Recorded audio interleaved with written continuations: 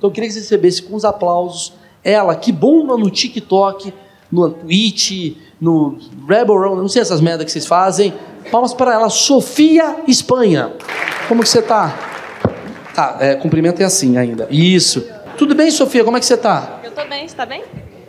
É, educada, simpática. Sofia, eu queria entender, você faz o que da vida? Tenta explicar pro pessoal. Então, eu tenho 18 anos. Hoje em dia eu trabalho para organização chamada Fúria. Chupa! Aqui, ó. Isso é trabalho. ah. E eu sou, né, o que falam que é digital influencer. Não gosto muito desse termo. Por que você não gosta desse termo? É meio cringe. É meio o quê? Começou bem, vamos lá. Eu acho que é meio assim. Prefiro falar que eu trabalho como streamer do que eu sou digital influencer. Ah, porque streamer todo mundo entende, agora entendemos. É, foda. Justamente pela pessoa não entender, fica mais fácil, né? Você gosta de ser chamada de youtuber? Eu não posto no YouTube. Ah, Aí tá. fica meio. É, eu, eu, eu, sempre odiei esse termo youtuber, porque YouTube é uma empresa. É quase como se você trabalhasse no Bob e você fosse um Bobbers. Sabe assim? você, você, você, não entendi, trabalha no YouTube. Entendi. Não. Tá. Antes de começar, eu queria agradecer. Tem um patrocinador, no caso eu acabei de falar dele. Palmas pro Bob's, que está trazendo aqui dois milkshakes, um para mim e um para Sofia, representando as gerações porque Bob está há 70 anos, esse daqui é o de banana, que representa a minha geração, e o dela é de Nutella, que representa a dela. Você gosta de milkshake? Gosto, claro. Cara, você foi a primeira da história, você é inteligente. Eu trago aqui muita gente.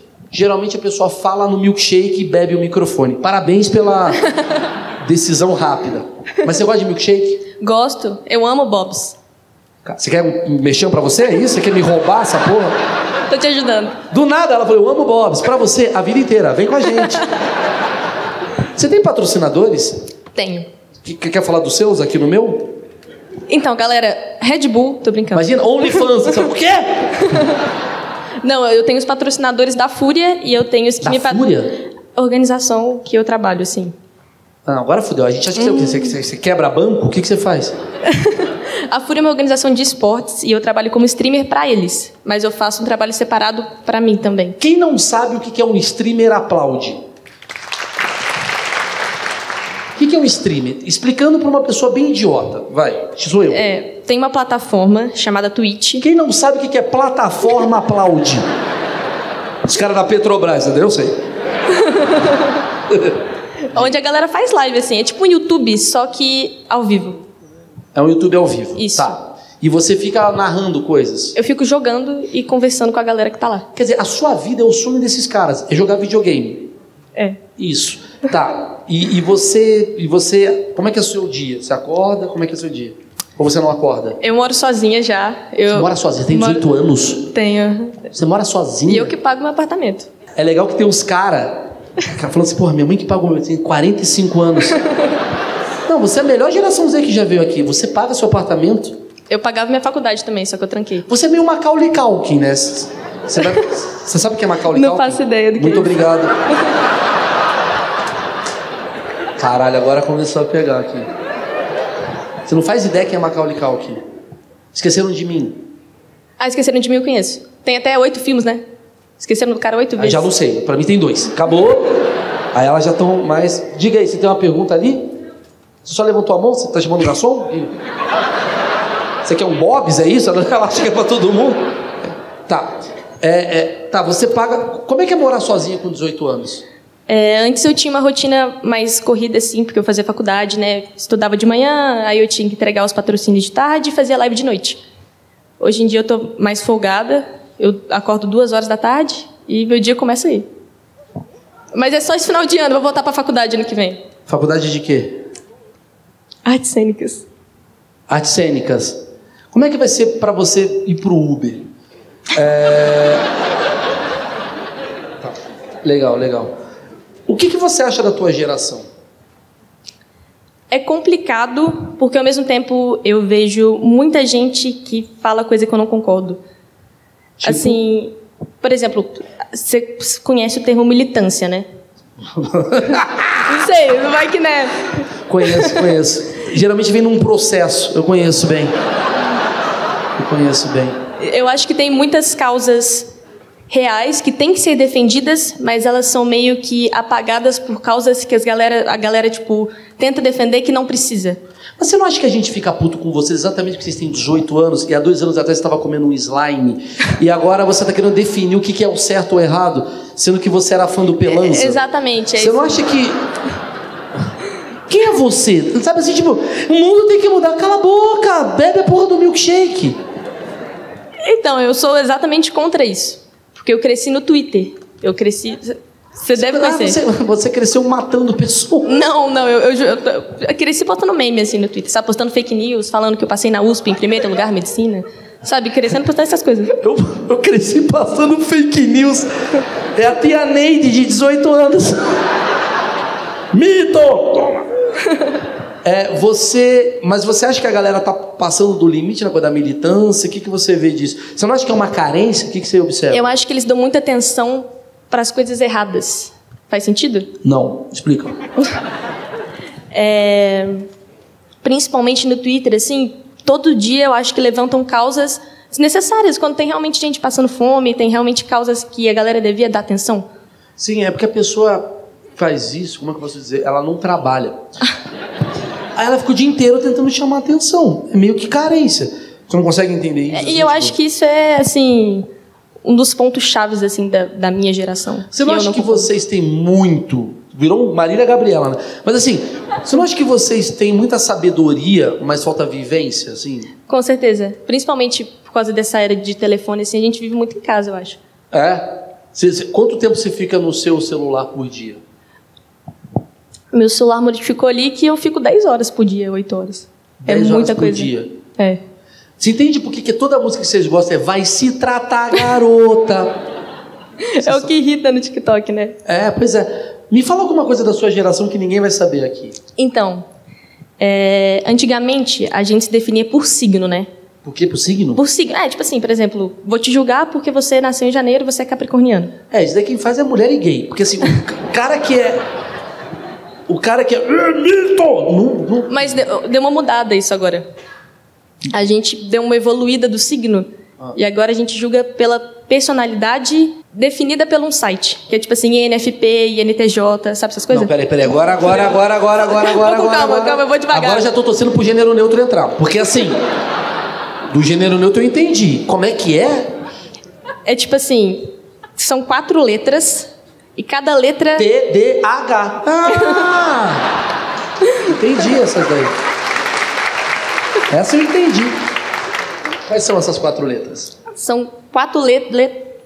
Calma, gaguejei. São quatro letras e cada uma define um traço da sua personalidade. Por exemplo, eu julgando você assim, eu acho que você é NFP. N- NFP, que é tipo E, extrovertido, N, já esqueci, F, porque você sabe essas coisas. E você é FDP. é isso? É basicamente isso. Eu não entendi um caralho. Me explica de novo. Tem quatro letras. Mas quais são essas letras? São tipo assim, 16 personalidades e cada uma das 16 LGBTQIA+. É isso? isso. É, não, mas é sério? Tem a ver com isso ou não? Não. Não. Não, não tem a ver com isso. Como é que vocês gostam tanto de várias letras e não conseguem escrever a porra de um texto? Eu tirei 800 na redação do Enem, 880. Sensacional. O tema era livre, mas. Não, não, não, eu sei que você é inteligente. A Sofia é uma das mais inteligentes aqui. Embora o amigo que ela trouxe, puta que pariu. Ele tá ali, viu, assistindo hoje. Ah, ele tá ali, deve estar comendo o próprio tênis. Ele é muito legal. Bom, o pessoal escreveu perguntas pra você. Vamos ver se você sabe. Isso é uma parada que me incomoda de vocês. A geração de vocês cagou pra todo o resto. Vocês não querem saber o que aconteceu no passado. Vocês não querem saber do legado. Pra vocês é a partir de agora e foda-se o passado. E eu vou provar isso ou não com você, embora você seja muito inteligente. Vamos ver quem fez 880 pontos no Enem. Que medo. Era mentira. Você, você não fez Eu não 880? fiz Enem no terceiro ano, eu inventei fake news aí, depois vou postar no Twitter. Claro, quem acorda duas da tarde não faz Enem, caralho. Você acorda na hora que abre a porra da porta. Cara, isso aqui é maravilhoso. Quem foi o Super 15?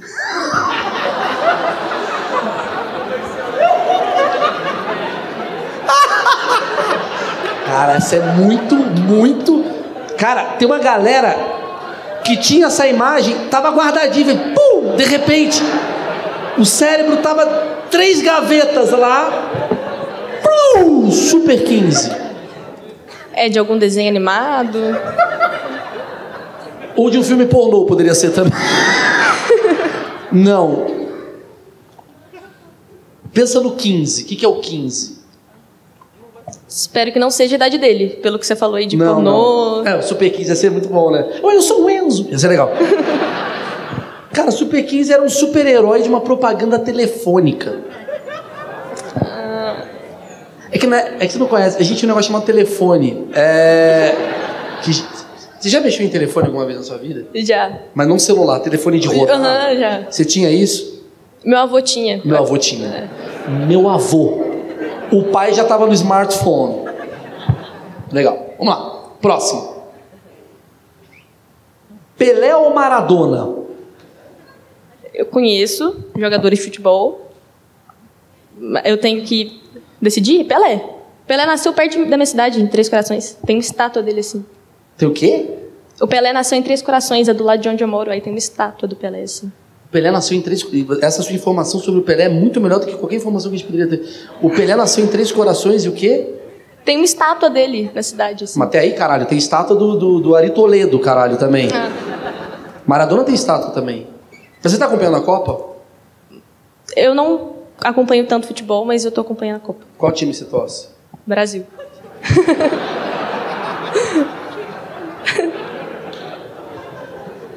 Tô indo bem? Você conhece o Bochecha?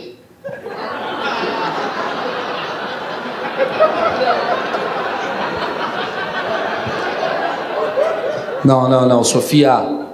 Bochecha. Você não conhece o Bochecha? Não. Sofia!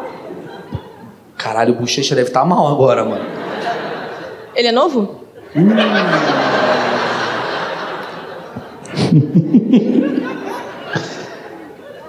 Você não conhece Claudinho Bochecha? Eu conheço de nome, mas eu não, não quero arriscar falar. É, mas essa é a sua função aqui hoje. Tá. É apresentador de TV? É o apresentador de TV. É o da Atena, exatamente, é o Bochecha. Você não conhece o Bochecha? Só love. Tá bom, bacana. Não é nada. Vamos lá. o que, que é linha cruzada?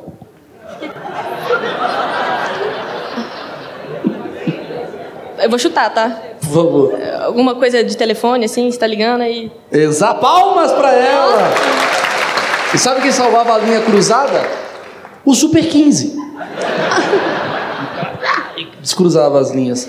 Antigamente a gente ligava pra uma pessoa Tipo, ligava para você e ficava ouvindo uma conversa da dona Neide. Ai, tem que cortar batata. E você tá falando com você aqui, você ouvia ela. E ela ouvia você. Então, tipo, foi assim que começou o Léo Dias. Genial. Essa é boa, mas você não vai saber. Qual barulho fazia o ICQ?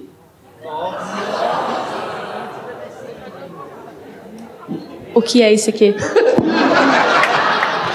Cara, você não faz ideia. Ó, vou te falar porque que eu fico puto com vocês. Não é da minha geração o Mirk, mas eu sei o que é o Mirk. Você não sabe o que é o ICQ? Tá. Você começou a usar rede social. Qual foi a rede social que você começou a usar? O Facebook. É muito legal que os velhos estão. Puta que pariu. e ela é muito mais feliz que vocês exatamente por isso. Facebook, tá. Antes do Facebook tinha qual? O Orkut. O quê? O Orkut, não é? Orkut, sim. E antes do Orkut? E MSN. MSN. IMC é coisa de gordura, meu amor. Ah. IMC. É chat do UOL. A gente entrava. É, tô gordo, não posso entrar. Era o ICQ. O ICQ foi o primeiro Messenger. Não é o chat do UOL também? Não o quê? Chat do UOL? O chat do UOL é. Como é que eu posso falar o chat do UOL? Chat do era pra, era, era pra comer gente. E a gente não comia. Eu não usava Porque não. a moreninha não era moreninha, era um cara chamado Flávio. era isso, chat do UOL. Moreninha mandou uma foto, vamos nos encontrar no Shopping Aricanduva. E não ia. Era o Flávio, puta cabeludo. É, o ICQ ele era um, ele era um, era um messenger. Já ouviu falar do messenger? Conheço. Ele era o primeiro messenger, só que ele era. Ele entrava assim. A gente entrava depois da meia-noite porque a gente pagava pulso do telefone. é sério. Você está olhando para mim com uma cara de tipo, parece que você está falando com seu avô e é triste isso. Eu vou explicar o que, que aconteceu. Na verdade, eu entendo ela não entender isso porque assim, o jovem foge da rede social. O jovem cria rede social. Lembra como é que era no começo o Orkut? Era só jovem. Aí entrou uns velhos, porra, vendo terreno no Guarujá, a gente foi embora. Pum. Aí a gente foi pro Facebook. O Facebook era só de jovem. Aí chegava o cara, Lula Bolsonaro? Vão embora. Para acabar o TikTok, é só pressão uns velhos. Imposto de renda, 10 dicas. o jovem vai embora. Pior que faz sentido isso que você está falando, porque hoje em dia eu não uso mais Facebook. Sim. É... Porque seu avô tá lá. Qual a rede social que você mais gosta? A que eu mais gosto é o Twitter. É o quê? O Twitter. Twitter? É. Você gosta de, de ódio mesmo? Não, eu gosto das fake news, meme, Bolsonaro, Lula beijando, essas coisas. Engraçado, né? Senhoras e senhores, palmas para Carlos Bolsonaro que está aqui hoje. a galera aplaude, foda-se. Que tipo de fake news você faz? O dia que eu vim aqui, é. junto com o João, tava tipo teatro vazio assim, eu tirei uma foto e falei. Vazio assim? Não, não, não. Tipo assim, antes da galera chegar, ah, a gente tá. veio antes e tal. Eu tirei uma foto e falei, porra, eu fiz meu primeiro show, não colou ninguém. Aí deu tipo 20 mil likes essa porra, entendeu? Esse é o jovem que vai mudar o mundo.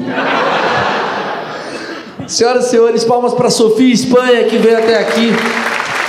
Ela é muito inteligente. Eu gosto de você, Sofia. Você é legal. Claramente você vai ser uma psicopata.